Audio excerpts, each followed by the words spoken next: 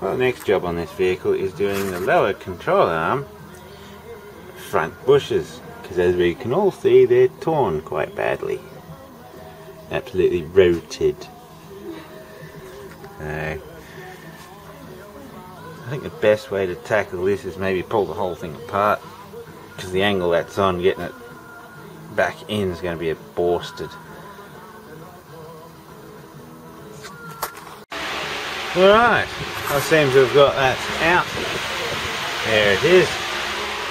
So now I can uh, change the bush in it and put it back together and then do the other side. Fun.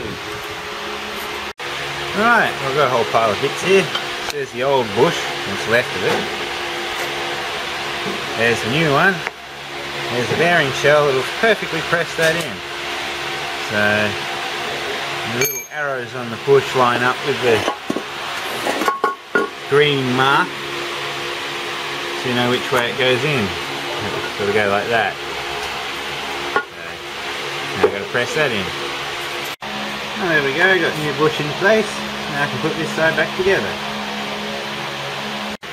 Oh, well, there we go, that's one side all back together again.